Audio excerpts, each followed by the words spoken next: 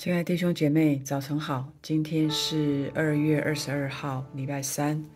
今天很高兴能够再一次跟大家啊，我们一起来读主主的话语。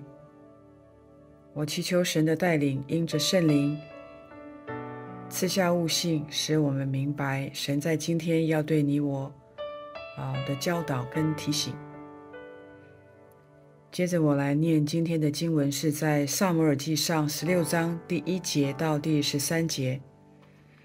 耶和华对萨姆尔说：“我既厌弃扫罗做以色列的王，你为他悲伤要到几时呢？你将膏油盛满了脚，我差遣你往伯利恒人耶西那里去，因为我在他众子之内预定一个做王的。”萨姆尔说：“我怎能去呢？”扫罗若听见，必要杀我。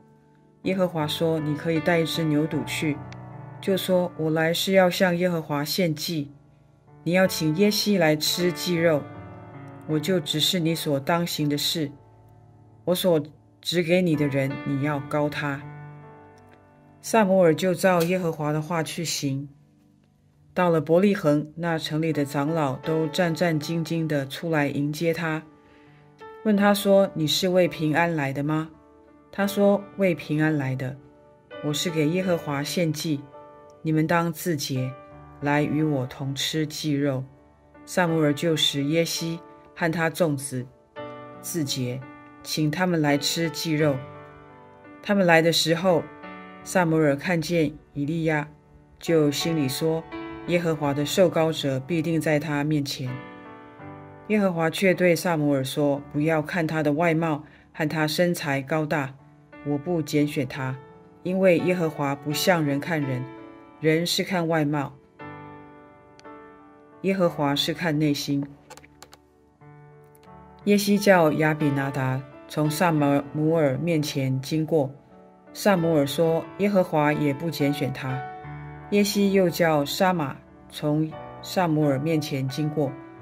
萨姆尔说：“耶和华也不拣选他。”耶西叫他七个儿子都从萨姆尔面前经过。萨姆尔说：“这都不是耶和华所拣选的。”萨姆尔对摩对耶西说：“你的儿子都在这里吗？”他回答说：“还有个小的，现在放羊。”萨姆尔对耶西说：“你打发人去叫他来。他若不来，我们必不坐席。”耶西就打发人去叫了他来，他面色光红，双目清秀，容貌俊美。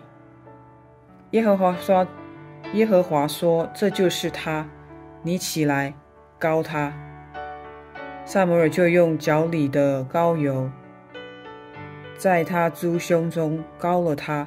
从这日起，耶和华的灵就大大的感动大卫。萨摩尔起身。回拉玛去了。以上是今天的经文。在前两天，经文提到了扫罗打败了亚玛利人，但却没有听从耶和华的话，留下了亚玛利王和上好的牛羊。萨马萨摩尔责备他，虽然扫罗认罪，但神已经厌弃他。于是，在今天的经文一开始，就看到了神差遣萨姆尔去伯利恒，另寻一位他要高的王。他要萨姆尔盛油盛满了，可能是公牛或者是山羊的脚，去到伯利恒人耶西那里，因为他已经为以色列人预定一个做王的。虽然萨姆尔害怕扫罗杀他。但耶和华告诉他带一只牛犊要去献祭为理由，在这里想必当初是萨姆尔立扫罗为王的，但如今若是听到他要立另外一位王，想必会阻止他，甚至杀害一位不全心顺服神的王，不但让萨姆尔忧伤，也感到害怕。但是当神告诉他带着牛犊去献祭的时候，第四节提到，萨摩尔就照耶和华的话去行，萨摩尔是一个顺从神，也遵行神旨意的人。这也让我想到他曾经一而再、再而三的告诫扫罗，要听从耶和华的话，也引用了旧约诗篇四十第六节到第八节：“听命胜于献祭，顺从胜于供羊的脂油。”他自己本身就是一个听命、听命于神。也顺从于神的人，即使心中有许多的顾忌和害怕，他仍然选择听从神的指示去做。在这边有一个反思：在你我的侍奉当中，是否也会经历不确定或害怕的时候吗？你会和你会如萨摩尔那样，虽然害怕，虽然有顾忌，但仍然选择听从神的教导吗？求神帮助我们。接着，萨姆尔来到耶和华指示之地伯利恒献祭，当地的长老战战兢兢地迎接萨姆尔，因为他的身份是祭司，他们关心的是萨姆尔是否为平安而来。萨姆尔做先知的工作，就是要人归向耶和华，因此他的出现往往是指责人的恶行。和将可能面对的后恶果，所以见到萨姆尔会让他们感到震惊，而萨姆尔告诉他们是为平安而来的，并且邀请耶西和他的儿子们一起来献祭，好为神高立他要的王。萨姆尔本想第二第一个儿子以利亚身材高大。还有外貌是神的上上之选，但是没有想到神却对萨姆尔说：“不要看他的外表和他身材的高大，我不拣选他，因为耶和华不像人看人，人是看外貌，耶和华是看内心。神拣选人不是看你我的外貌，乃是你我的内心敬虔。扫罗虽有出众的外貌。”但他对神的态度是骄傲的，不愿顺从的，甚至也没有悔改在神的面前，以至于神厌弃了扫罗。这次萨摩尔以为神也要选的是出众的外貌，谁知道神告诉他，内心的敬虔才是他所要的。